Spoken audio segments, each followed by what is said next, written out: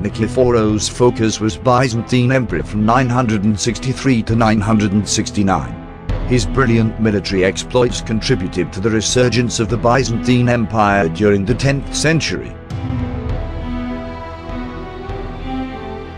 In the east, he completed the conquest of Cilicia and even retook the island of Cyprus, thus opening the path for subsequent Byzantine incursions reaching as far as the Jazira and the Levant. Nicephorus Phokas was born around 912 and belonged to a Cappadocian Greek family which had produced several generals. His mother, whose name is unknown, was a member of another powerful Anatolian Greek clan, the Maleinoi. Nicephorus joined the army at an early age. In June 957 Nicephorus managed to capture and destroy Hadath, the Byzantines would continue to push their advantage against the Arabs. From the ascension of Emperor Romanos in 959, Nicephorus and his younger brother Leo Phocas were placed in charge of the eastern and western field armies respectively. In 960, 27,000 oarsmen and marines were assembled to man a fleet of 308 ships carrying 50,000 troops. At the recommendation of the influential minister Joseph Bringas, Nicephorus was entrusted to lead this expedition against the Muslim Emirate of Crete. He successfully led his fleet to the island and defeated a minor Arab force upon disembarkation near Olmyros. He soon began a nine-month siege of the fortress town of Chandax.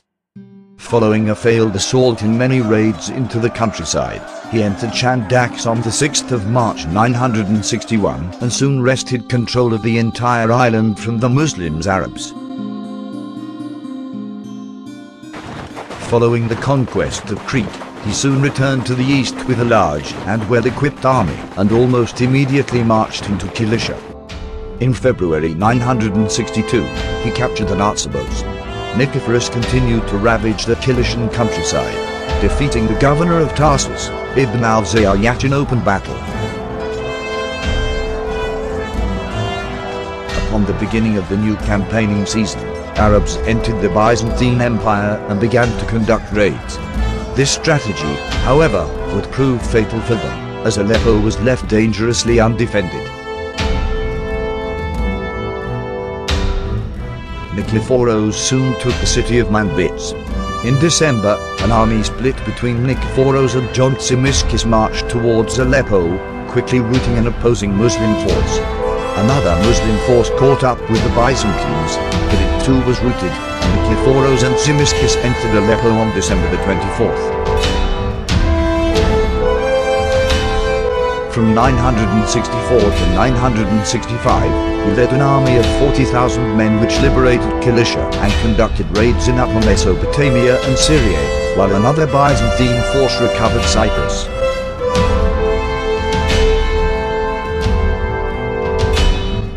Nicephorus and Tzimiskes seized Mopsuestia in July the 13th, while Leo Phocas invested Tarsus and Nicephorus and Tzimiskes arrived soon after.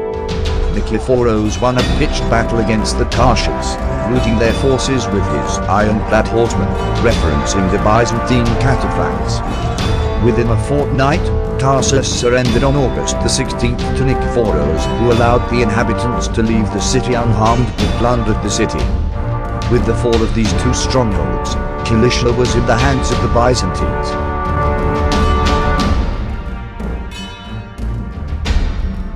In 968, Nicephorus conducted a raid which reached the city of Tripoli, raiding and sacking most of the fortresses along his path. His aim was to cut off Antioch from its allies. Finally the city was taken by a surprise attack. After his reign, big part of Middle East was under Byzantine control. Muslims had to defend themselves instead of attacking.